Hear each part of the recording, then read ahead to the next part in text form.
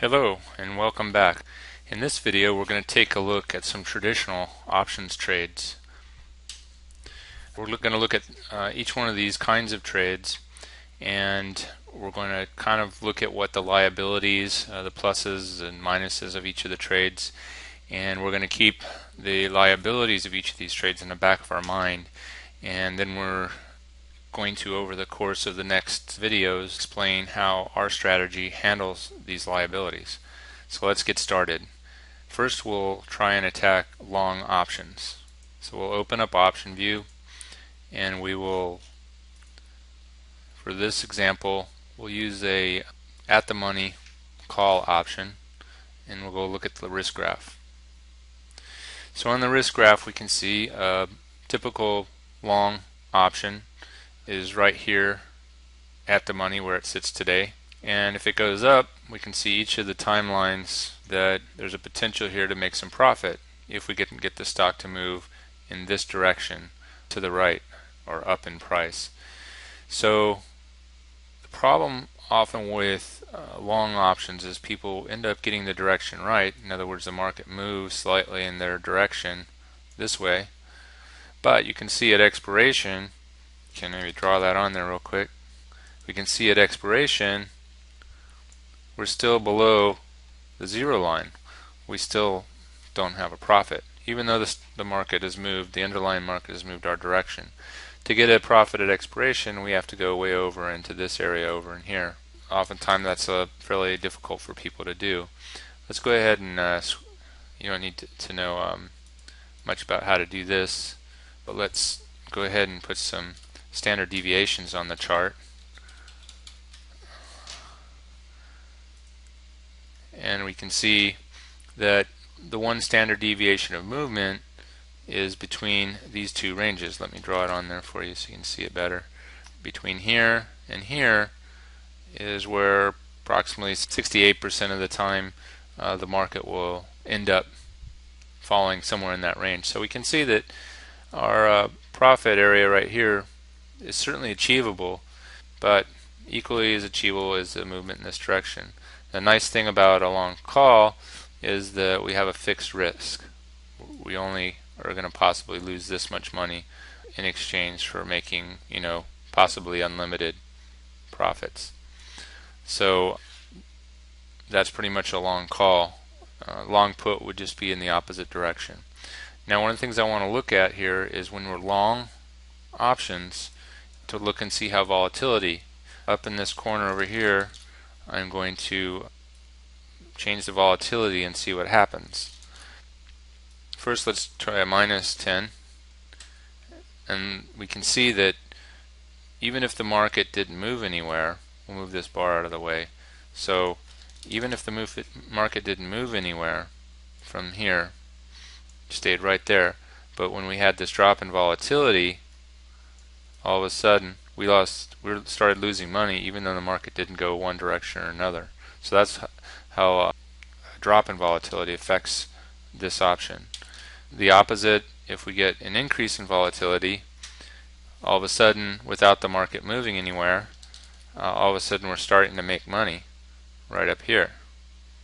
So implied volatility if it goes down it hurts long options and if it goes up it helps long options so the next trade we want to try is the short options.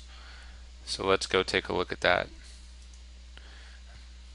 Instead of buying an at the money option, let's sell an out of, out of the money option and take a look at that risk graph. Now we bought a little bit out of the money so we've given ourselves a little bit more of a buffer in this area here we, we now have basically the opposite situation of our call. If if the market doesn't go or excuse me the opposite of our long call if the market doesn't go up in this direction more than this amount we have this whole area of profit in here and all the way down in this direction. We're making money. However this is the one standard deviation move over here. So we can see that the loss area is, is certainly a possible outcome. And we're in addition to that, we have possibly unlimited risk in this trade for a very small possible profit in comparison to the potential uh, loss. So uh, that's our short option. Now let's see what happens if we change the implied volatility. If since this is a short option, we'd expect it to behave the opposite of a long option, which is true. If we go down in volatility 10%, we can see that it helps our trade. So without the market moving anywhere in price from here, we've now got a bump in price when implied volatility goes down. That's because the option's worth less now than the credit that we got, and we can buy it back cheaper than the credit that we took. Now, if the implied volatility goes the other direction, it goes up, our profit point goes down. So without the market going anywhere, we've now uh, lost money on this trade. So to recap, uh, on the long option, implied volatility going down will hurt it. Implied volatility going down helps short option. Uh, implied volatility going up hurts this this short option here, but it helps the long option because it inflates the price of the option. So if we bought it for a particular price, we're hoping that we can sell it for more. And with the inflation from implied volatility on the long option, we're making money. So let's look at the next trade. The next trade we want to look at is a credit spread. So let's take a look. In this situation, we'll stick with our short option we have there, but what we'll do is we'll add a long option, long call option, a little bit further out of the money.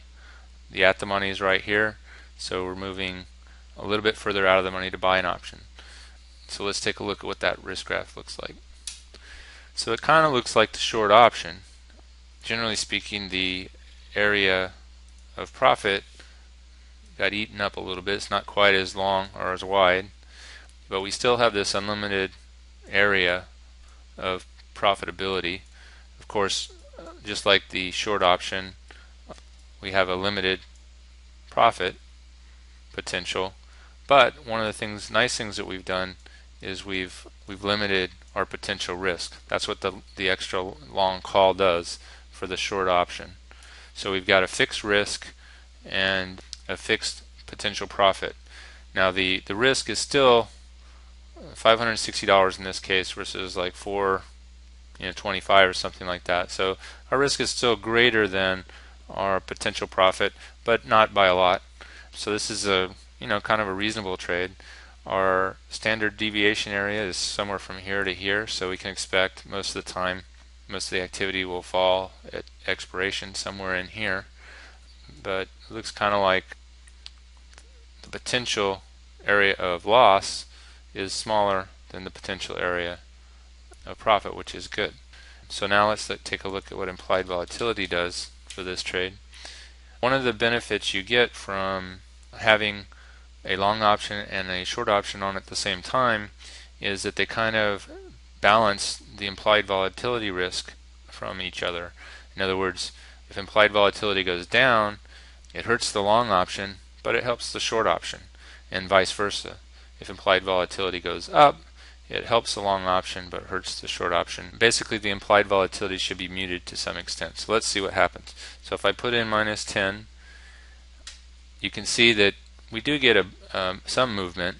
The profit from no market move goes up a little bit. So we're on balance because our short option is closer to the money or at the money uh, than our long option.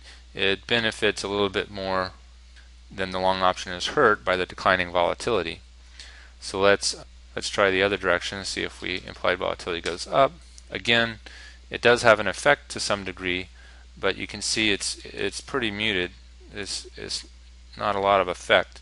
Now the reason the movement here is so much smaller than the other direction is that essentially the implied volatility going up is helping our long option, which is further out of the money, and it's hurting our short option to some extent as well. So on balance, for a credit spread, implied volatility going up doesn't hurt as much as implied volatility going down helps. Hopefully that made sense. So let's take a look at the uh, next trade. Next trade is, we'll go back to our PowerPoint. is the debit spread, which is kind of the opposite of the credit spread. You'll see in a minute. So instead of selling the just out of the money option, we're going to buy the just out of the money option, and we're going to sell uh, the further out of the money option. So let's take a look and see what that looks like. So it's kind of the, basically the same thing but going a different direction. The big difference is the way people trade these is that our price that we start at is outside of our profit area whereas in the credit spread usually the price is starting inside the profit area. So we actually need some movement in this direction to get into the profit zone. Now the difference is, one of the differences is kind of the opposite of what we did, which kind of makes sense because we just kind of flipped the minus and plus signs. Our potential profit is greater than our potential loss and pretty much on the same magnitude as the credit spread. So our potential profit in this direction is greater than our potential loss in this direction. But the reason we're getting that extra possible profit is because we're taking a little bit more risk because we're starting off uh, outside the profit zone, whereas the credit spread starts inside the profit zone in the market doesn't really reward you for doing that. It, the market rewards us for taking little, this little extra risk.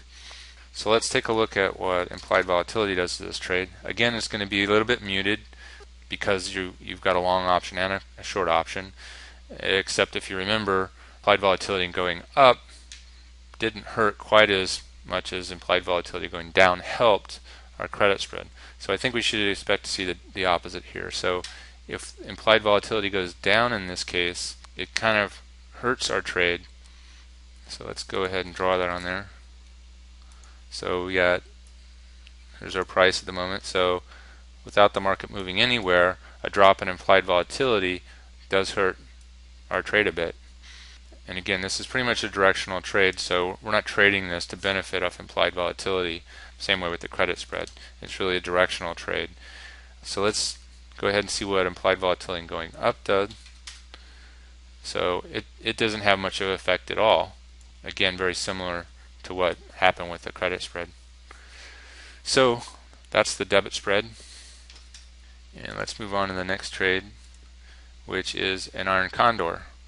The iron condor is a very popular trade, mainly because people think of it as a limited risk trade, plus it has a high probability usually, so that's why people like it.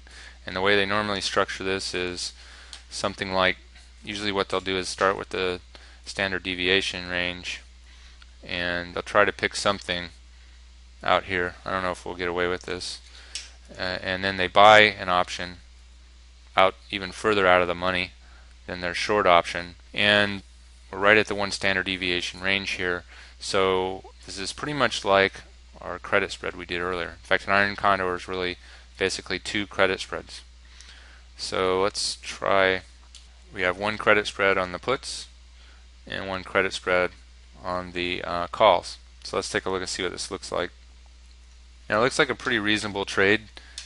If we take a look at the probability of profit, it's around 66%, which seems pretty good. Our range of profitability is somewhere in here. And if we start off in this trade at the zero day, we can see that any movement to one side or another starts getting us a, a loss pretty quickly.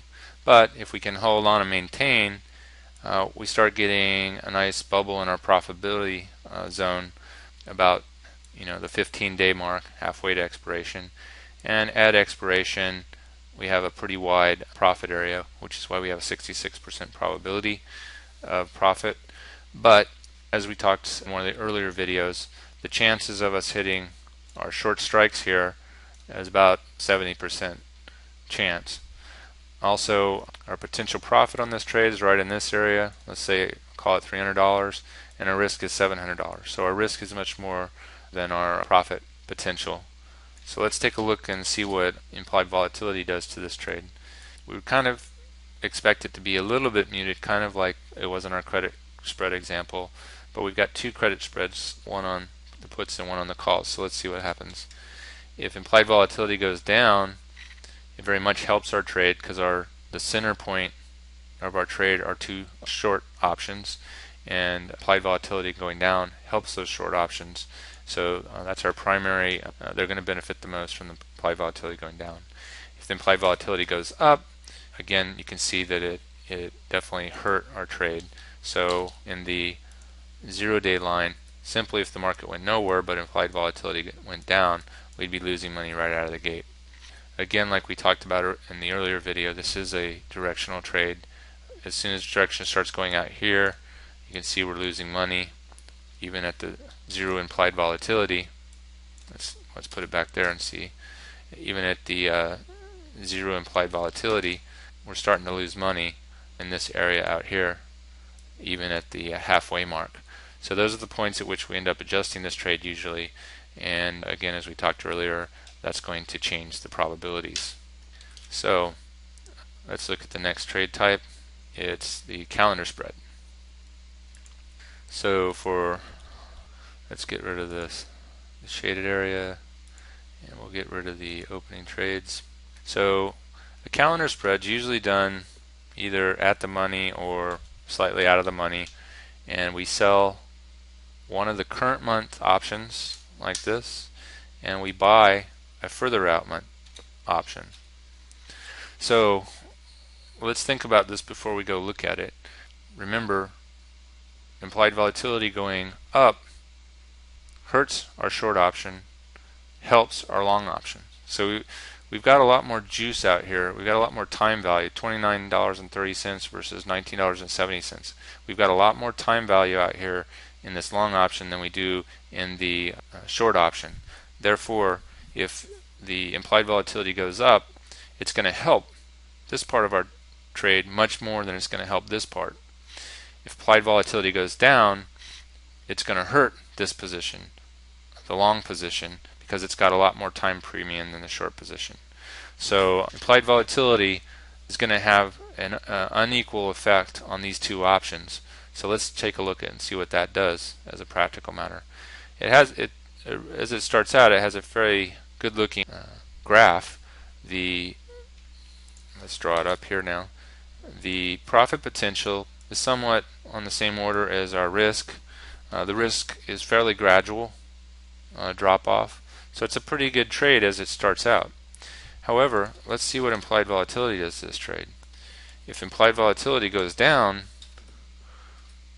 all of a sudden, we basically have a really tiny window of opportunity to make a profit.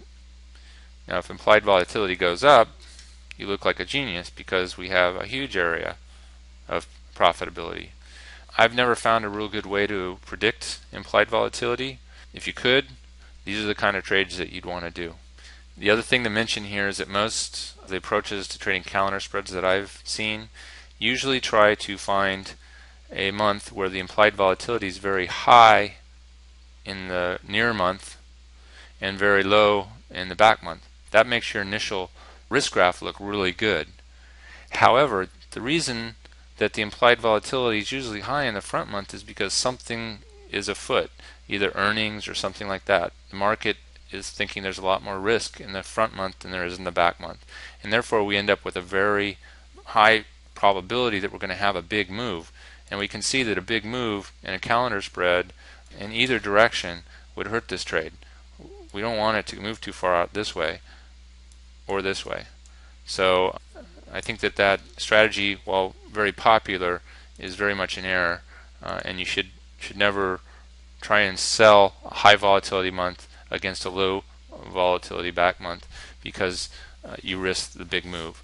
Uh, you really want the implied volatilities in the front month and the back month to be very close, and that gives you a much better chance of actually ending up in the profit zone. So let's look at our next trade. Let's go look at the butterfly, the regular butterfly first. The way people normally do that is they'll do they'll sell two options in the middle and then buy wings on the same type of option. So in this case calls. Minus two calls at the money, buy one call just out of the money, and then buy one call just in the money. And that gives us a risk graph that looks something like this. Uh, we have a fairly narrow profit zone. However, the profit zone is pretty big when compared to our losses we have this potential profit up here around $800 for a potential risk of $80. That's why these are attractive. The problem is, is that our window of opportunity, you know, down the road 30 days is very narrow. So if you not only have to predict uh, the price where the stock's going to end up, but you have to pre predict it 30 days out. And if you can do that, you're highly rewarded for it. It's a it's a, a nice trade from a risk point of view, but probability is very low, 14%. So let's take a look and see what implied volatility does to this trade. If it goes down, uh, it helps our trade a bit, but we don't really get the big bang until the end of the trade. Probability goes up. We ends up hurting our trade, but it's a little muted because we have such little risk on this trade, and we have so much time premium in the short options, but very much guarded. Our risk is very much guarded by those long options that are very close on either side. So a little bit muted. Our next trade is the iron butterfly. So let's go take a look at that one. It's very similar to the regular butterfly, except that what we do is we do kind of like the iron condor, we do a credit spread at the money in the same month. So we go minus 1 call at 7.30 and then we're going to take our other leg and move it up here. So we basically have a credit spread with a wide leg and then uh, on the put side we're going to do pretty much the same thing. We're going to buy or sell one right at the money and then we're going to buy one a few strikes out. So let's take a look and see what this looks like. This is a pretty decent looking trade. The profit area is somewhere in here, so around $3,200. The risk is somewhere around, looks like about $1,800, $1,900. So it has a fairly nice looking risk graph. We have this area uh, 15 days out in the middle that starts to balloon up that provides us a nice profit opportunity. Uh, but let's see what implied volatility does to this trade. If implied volatility goes down, it helps our trade enormously. Get this big ballooning in the center area, and uh, that'd be a good time to possibly take some profit. If the implied volatility goes up, it does have an effect on the trade, but again, like the other butterflies, it's it's fairly muted. It it it doesn't have a really dramatic effect on the trade, and if time is on our side, we can still end up getting some time decay in this area. So back to normal. And that's it for our traditional trades uh, that we wanted to take a look at. Alright, coming up next we're going to talk about the rules.